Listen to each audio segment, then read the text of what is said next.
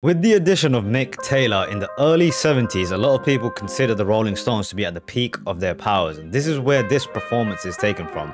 This is from one of their DVD releases of a live performance concert. This is from Ladies and Gentlemen. This is of the track Jumping Jack Flash, which I think has maybe one of the greatest lines, or at least opening lines I've heard so far on this channel, which is I was born in a crossfire hurricane. And with that, patented um, Jagger swagger during the delivery of the line. It's just fantastic way to start off what is probably one of the great riffs of rock and roll history. So I can't wait to get into this performance. Hope you enjoyed the video. Here we go. After about two hours of playing football, I can't think of a better way to end off the day than some Rolling Stones. If you do end up enjoying the video, hit the like button, maybe share it with a friend, or hit the subscribe button if you have not done so already. This is Jumping Jack Flash Live 1972.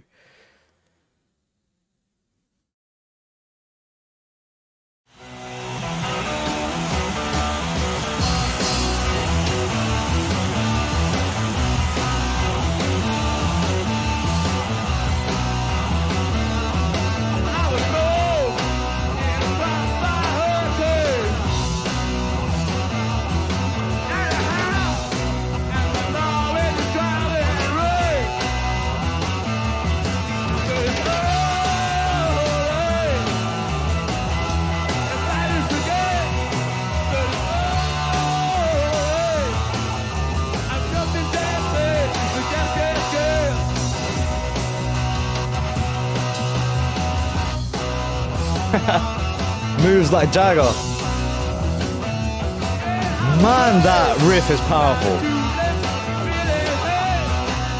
It's got a gnarl to it. Snarling.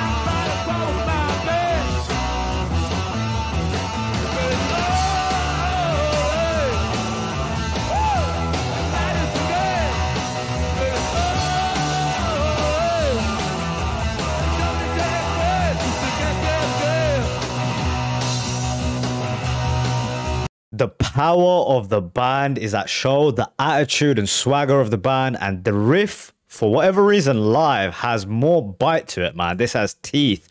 And it's because of the way keith is delivering it man. It's really with so much attitude. So it's so rare that a, a track is transformed to be far far better live. And i think that's the case here man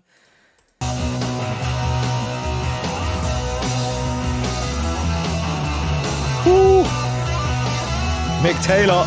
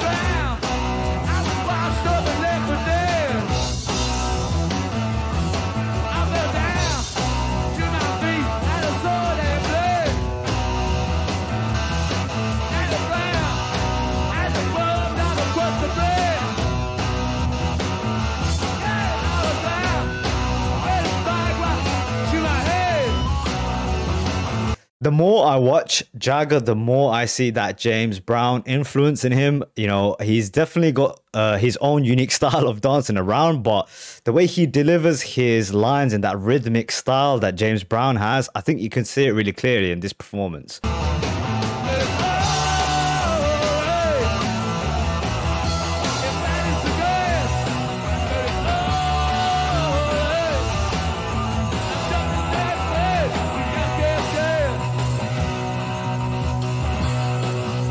Damn, that guitar tone is so good. It's got teeth to it, man. Oh, here the keys go off. Turn it up, dude.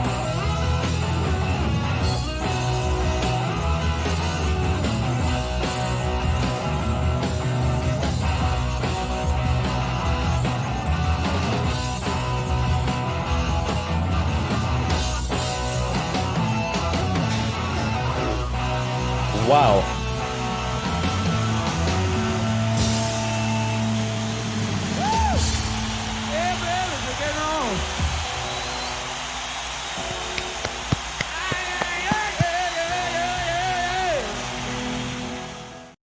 That was powerful, man. It's crazy to see how all these like English musicians saw what blues artists, black artists in America were doing and were so inspired by it that they transformed the music so fantastically. You know, Led Zeppelin, the Rolling Stones, they were all influenced by blues musicians. I mean, Clapton, I think, is the same thing.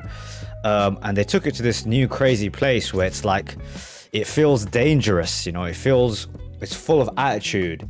Um, great, great performance, man. It's a shame that they didn't put Mick Taylor more on the camera. That guy was going off, man. He's such a fantastic uh, lead guitarist. But I think the real star of that performance was Keith. Keith's guitar playing skills, man. He's so in the zone, dude.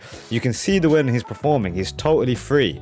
Like the way he was shaking his head, he's so in sync with what's going on um, that riff was transformed. I feel like because of the way he was playing it live, the energy of the crowd and the performance, dude, that was fantastic, fantastic. And uh, yeah, I mean, what else can I say? The performance that uh, Mick Jagger gives as well, with all that attitude and those uh, kind of crazy dance moves that he's known for. Uh, really cool to see live finally. 72, probably probably the peak of their powers, right? Um, regardless, great, great video. Two thumbs up.